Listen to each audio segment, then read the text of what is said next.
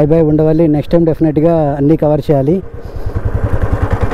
So ఇక్కడ నుంచి left తీసుకుంటే శైవక్షేత్రం శైవ క్షేత్రం ఉంటుంది తాలాయపాలెం అనేసి. ఒక అబౌట్ టూ త్రీ కిలోమీటర్స్ ఉంటుంది కరకట్ట పక్కనే. సో అక్కడ కూడా కొంచెం ప్రాబ్లం ఉంది. కరోనా కేసెస్ ఉన్నాయంట గుడి లోపల కూడా. దానివల్ల ఎలవ లేదు అక్కడ కూడా. అండ్ ఇక్కడ నుంచి విజయవాడ బ్యారేజ్ వచ్చేసి ఒక ఫైవ్ కిలోమీటర్సే ఉంటుంది. సో ఫస్ట్ బ్యారేజ్ దగ్గరికి వెళ్ళిపోదాం. కృష్ణానది గేట్లు ఎత్తే ఉన్నాయి. బ్యారేజ్ దగ్గర చూపించుకొని అక్కడ నుంచి రాజధాని ఏరియాకి వెళ్దాం. సో అక్కడ ఉన్న హైకోర్టు కానీ కన్స్ట్రక్షన్ కంప్లీట్ అయిపోయి ఉన్న బిల్డింగ్స్ కానీ అపార్ట్మెంట్స్ కానీ అక్కడ వేసిన రోడ్స్ కానీ అసలు ఎంత అయితే డెవలప్మెంట్ ఉంది అమరావతి. జస్ట్ నేను కూడా ఎప్పటి నుంచి వద్దాం అనుకుంటున్నాం కానీ రాలేకపోయాను. ఇప్పుడు ఆ రాజధాని ఉందో లేదో కూడా తెలియదు బట్ ఏదైతే రెడీ ఉందో అంతవరకు చూసుకొని వద్దాం అనిపిస్తుంది. సో ముందు బ్యారేజ్ చూసుకొని మళ్ళీ వెనక్కి వెళ్తాం ఇదే రూట్లో సో ఇప్పుడు నేను ఉన్నది మద్రాస్ కాలువ అంటారు. కృష్ణానది నుంచి డైరెక్ట్గా ఒక పాయలాగా వెళ్తుంది. ఇది దుగ్గిరాలు వెళ్ళి దుగ్గిరాల మీదుగా అట్లా వెళ్తుంది. మద్రాస్ కాలువ అని చెప్తారు. సో వాటర్ సోర్సెస్ అనమాట మెయిన్ వాటర్ సోర్సెస్ ఇది. అండ్ ఈ ఈ కాలంలో నుంచి చీలకలే చాలా కాలువలు ఉంటాయి సబ్ డివిజన్స్ లాగా. సాగునీటికి తాగునీటి కోసం. అండ్ ఇప్పుడు ఉండవాలి జస్ట్ క్రాస్ చేశాను. విజయవాడ ఆల్మోస్ట్ వచ్చేసినట్టే. ఆ రెండు కలిసే ఉన్నాయి. ఒకప్పుడు అంటే చాలా గ్యాప్ ఉండేది బట్ ఇప్పుడు రెండు కలిసి ఉన్నట్టే ఉంటాయి. అండ్ ఈ కొంచెం దాటేస్తే విజయవాడ ప్రకాశం బ్యారేజ్ మీదకి వెళ్ళిపోతాం. అండ్ లెఫ్ట్ సైడ్ కరకట్ట మీదకి వెళ్ళిపోవచ్చు. సో సీతానగరం ఘాట్ వెళ్ళాలంటే రైట్కి వెళ్ళాలి అండ్ బ్యారేజ్ ఎంట్రన్స్ ఇదే. ఈ లెఫ్ట్ సైడ్ పోతేనేమో కరకట్ లోపలికి వెళ్తాం. అండ్ సీతానగరం అంటారు. ఇటు వెళ్తే రైల్వే ట్రాక్ సంబంధించిన బ్రిడ్జ్ ఉంటుంది. ఇవంతా క్లోజ్ ఉన్నట్టుంది. ఇది కూడా ఆల్మోస్ట్ కంటైన్మెంట్ ఏరియాలో ఉంది కాబట్టి. So welcome to Prakasam barrage ఒకప్పుడు హెవీ వెహికల్స్ వెళ్ళాయి బట్ ఇప్పుడు హెవీ వెహికల్స్ ఏం లేవు. ఓన్లీ చిన్నవి కార్లు బైక్స్ తప్ప ఏం వెళ్ళడానికి లేదు.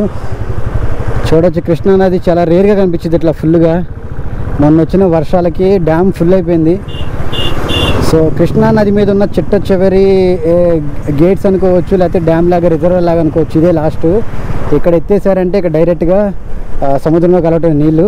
మొన్నటి వరకు అయితే గేట్స్ ఓపెనే ఉన్నాయి. సో అందుకే ఆ గేట్స్ ఓపెన్ చేసేసరికి కింద ఉన్న లోతటి ప్రాంతాలన్నీ మునిగిపోయినాయి. అండ్ ఇక్కడ వన్స్ గేట్లు ఎత్తారంటే టోటల్ ఇంకా సముద్రంలోకి వెళ్ళడమే. టూ థౌజండ్ టెన్లో నాకు బాగా గుర్తు మేము కాలేజీలో ఉన్నాం. సో అప్పుడు ఫుల్ వాటర్ వచ్చేసింది ఫ్లడ్స్ వల్ల. ఈ కింద ఉన్న లంక గ్రామాలన్నీ రైట్ సైడ్లో సముద్రం ఒడ్డున ఉన్న లంక గ్రామాలు మొత్తం మునిగిపోయినాయి. అప్పుడు పల్లెపాడు అనే ఒక చిన్న గ్రామాన్ని మేము అడాప్ట్ చేసుకొని దానికోసమని ఒక ఫిఫ్టీన్ టెన్ డేస్ మొత్తం అంటే ఊర్ల మీద తిరిగి చందాలు బియ్యం అన్నీ అవన్నీ డొనేట్ చేయడానికి అని వెళ్ళాము. అప్పుడు చూసామన్నమాట ప్రాక్టికల్గా ఒక ఊరు ఊరు మొత్తం మునిగిపోయింది. సో అలాంటి లంక గ్రామాలు కొన్ని వందలు ఉంటాయి ఈ కృష్ణానది కింద. సో ఇటు సైడ్ చూడవచ్చు ఇటు ఇటు సైడ్ అంతా వాటర్ స్టోరేజ్ ఉంటుంది. రైట్ సైడ్ మొత్తం మీకు వదిలేశారంటే సముద్రంలోకి వెళ్ళిపోతుంది. అండ్ చాలా పెద్దది. లోతు తక్కువ ఉంటుంది బట్ వెడల్పు ఎక్కువ ఇక్కడ. అండ్ గేట్స్ అయితే పూర్తిగా ఓపెన్ లేవు. కొంచెం ఓపెన్ ఉన్నట్టున్నాయి. దానిపై నుంచి వాటర్ వెళ్తున్నాయి. మేము ఇప్పుడు ఆ దగ్గర నుంచి ఈ దగ్గరికి వచ్చేసాం. మీకు ఎదురు కనిపిస్తుంది మొత్తం విజయవాడ సిటీ ఇటు సైడ్.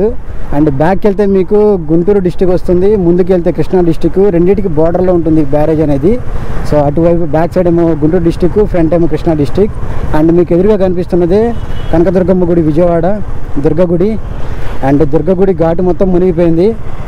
మొన్న మీరు చూసే ఉంటారు అక్కడ ఉన్న టెంపుల్స్ అవన్నీ కూడా మొత్తం మునిగిపోయినాయి. ఇక్కడ అఖండ జ్యోతి ఇస్తారు అవన్నీ. అండ్ ఆ లోపల కనిపిస్తున్న అదే భవానీ ఐలాండ్. సో యాక్చువల్గా అక్కడ బోటింగ్స్ కానీ వాటర్ గేమ్స్ కానీ చిన్న చిన్న కాటేజెస్ రిసార్ట్స్ లాగా ఉంటాయి సో బ్యారేజ్ అయితే దాటుకొని వచ్చేసాం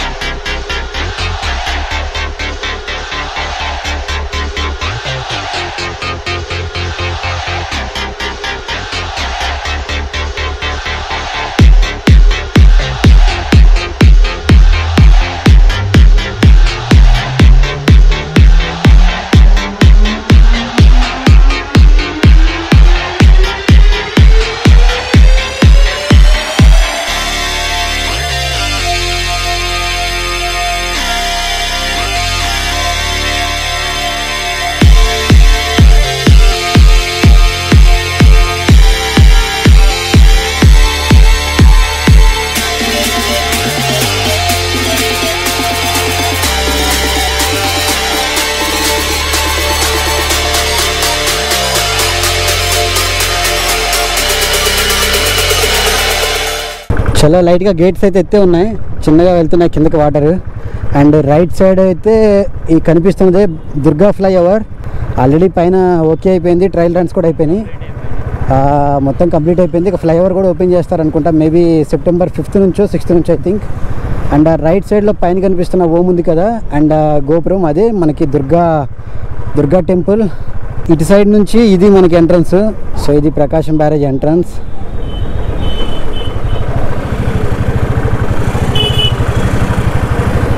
అండ్ అది మీకు ట్రైన్ బ్యారేజ్. దీని పక్కన వారధి ఉంటుంది. And right side Bhavani island. And అదంతా ఉండవల్లి ఆ ఉండవల్లి కొండలు అవన్నీ అండ్ యాక్చువల్గా ఎదురు కనిపిస్తున్న కొండ ఉంది కదా కొండ మీద వెంకటేశ్వర స్వామి టెంపుల్ ఉంటుంది. పైగా అక్కడ నుంచి దారి కూడా ఉంటుంది పైన కొండ మీదకి వెళ్ళొచ్చు. బట్ ఎలా ఉందో లేదో తెలియదు ఈ కరోనా వల్ల మ్యాక్సిమం టెంపుల్స్ అన్ని క్లోజే ఉంటున్నాయి. అండ్ ప్రకాశం బ్యారేజ్ అయితే చూడడం అయిపోయింది. ఇప్పుడు రాజధాని ఏరియాలోకి వెళ్తాం. అండ్ ఈ ప్రకాశం బ్యారేజ్ ఈవినింగ్ టైంలో చాలా బాగుండిద్ది. లైక్ అన్ని ఏరియాలో ఉన్నట్టు వైజాగ్లో బీచ్ రోడ్కి వెళ్ళినట్టు హైదరాబాద్లో ట్యాంక్ బండ్కి వెళ్ళినట్టు ఇక్కడ చాలామంది ఈవినింగ్ టైం వస్తారు. ఐస్ క్రీమ్ బండ్లని పాప్కార్న్స్ అని అవన్నీ ఇవన్నీ కొన్ని ఇక్కడ చిరుతిండ్లు ఉంటాయి. ఇప్పుడు ఎలా ఉందో తెలియదు అంటే ఇప్పుడు ఈ కరోనా టైంలో బట్ ఇంతకుముందు మేము కూడా అప్పుడప్పుడు యూజువల్ వచ్చి తింటూ ఉండేవాళ్ళం.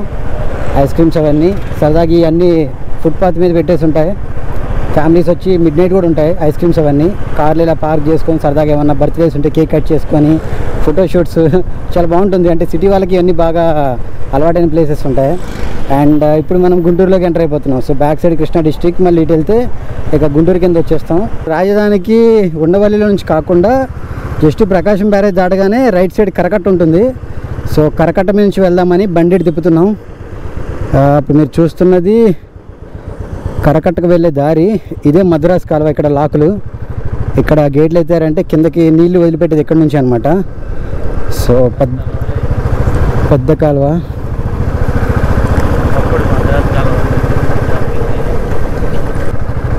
మద్రాస్కి తాగునీరు కూడా వెళ్తాయని చెప్పేసి చెప్తూ ఉంటారు ఈ కాలువ కాలువ. అండ్ ఓ ప్రకాశం బ్యారేజ్కి ఇటువైపు ఎగువ వైపు ఇదంతా.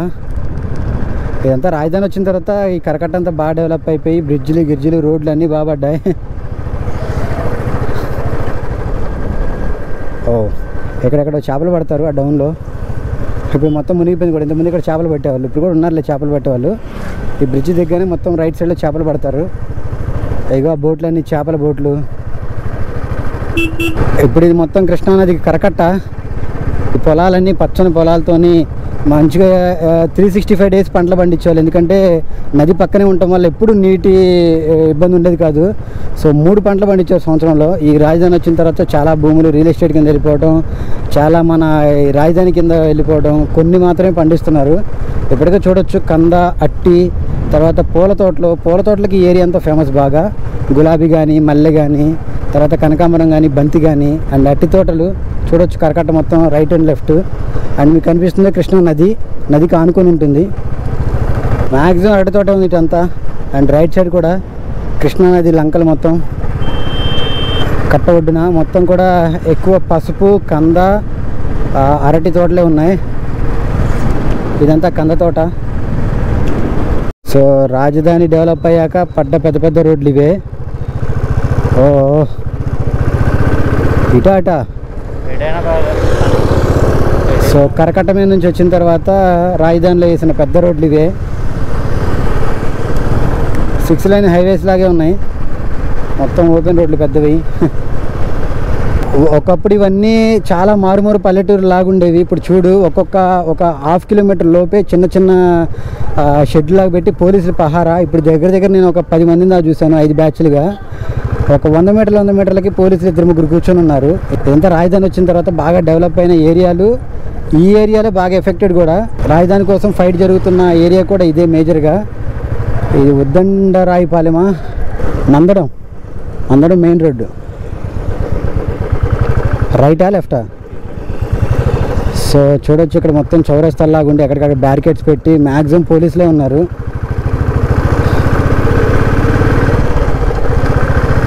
సో రాజధాని వచ్చిన తర్వాత వేసిన పెద్ద పెద్ద రోడ్లు ఒకప్పుడు ఇవన్నీ చిన్నవి సింగిల్ లేన్ రోడ్స్ ఉండేవి. ఇప్పుడు అన్ని పెద్ద రోడ్స్ వేసి మొత్తం చూడొచ్చు పల్లెటూరులో పల్లెటూర్లు ఇలా తయారవుతాయని ఎవరు కళ్ళవడం అనుకోలే. అలా అయినాయి కానీ ఇప్పుడు రాజధాని ఇక్కడ నుంచి తీసేస్తున్నారు అనేసరికి వీళ్ళందరూ పోరాటం చేస్తున్నారు. ఐ థింక్ ఆ బ్యాక్ సైడ్ మందడం ఏరియాలో పోరాటాలు జరుగుతూ ఉన్నాయి దీక్షలు జరుగుతూ ఉన్నాయి. దగ్గర దగ్గర ఇప్పుడు కరోనా రాకముందే before ninety days hundred days నుంచి జరుగుతూ ఉన్నాయి. ఇప్పుడు ఆల్మోస్ట్ టూ ఫిఫ్టీ డేస్కు ఏమి వెళ్ళినట్టుంది దీక్షలు.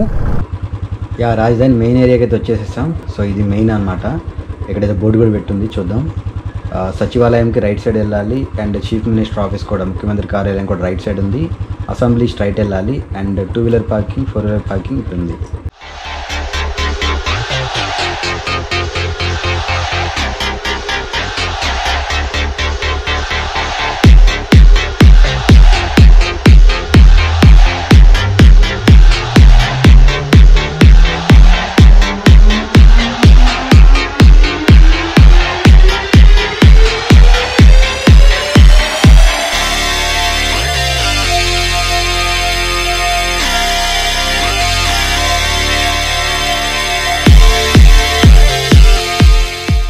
సో లోపలికైతే పర్మిషన్ లేదు ఇక్కడ వరకే.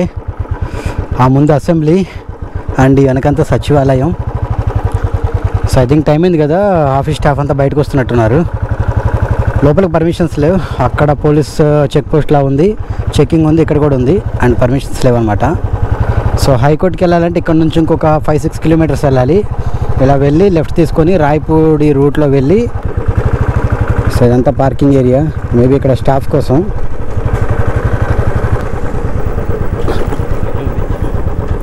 సో ఇది మెయిన్ ఆంధ్రప్రదేశ్ సచివాలయం.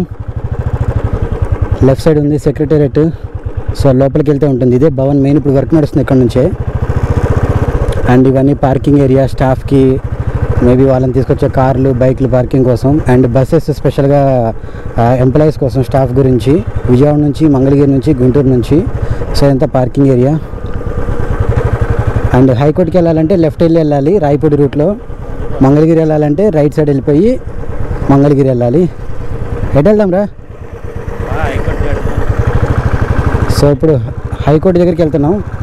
అక్కడ కూడా లోపలికి వెళ్ళలేదంటున్నారు బట్ ఎంత కుదిరితే అంతవరకు వెళ్ళి రావచ్చు.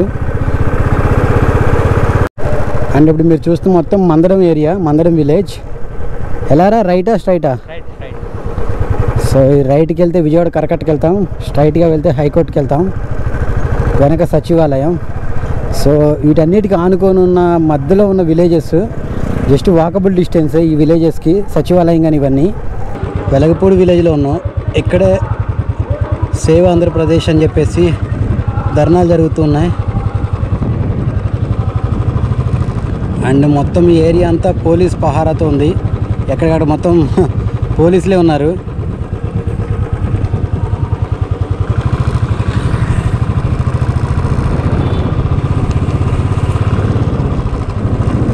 నా ఎదురుగా కనిపిస్తున్నవి వెంకటపాలెంలో కట్టిన మన గవర్నమెంట్ స్టాఫ్కి ఇవ్వాల్సిన బిల్డింగ్స్ కానీ ఎమ్మెల్యే క్వార్టర్స్ కానీ ఏవైతే కట్టారో నాకు కరెక్ట్గా ఎగ్జాక్ట్గా తెలియదు బట్ ఈ రాజధానిలో పనిచేస్తున్న స్టాఫ్ కోసం కట్టిన బిల్డింగ్స్ అని చెప్పేసి విన్నాను.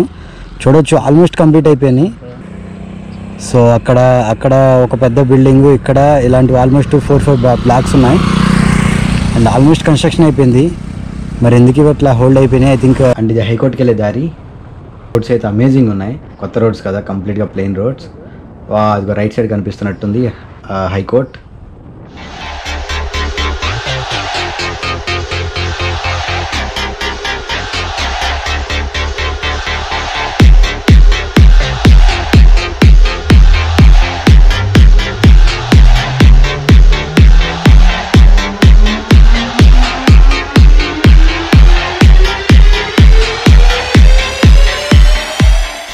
Andhra Pradesh high court area. So కనిపిస్తుంది హైకోర్ట్.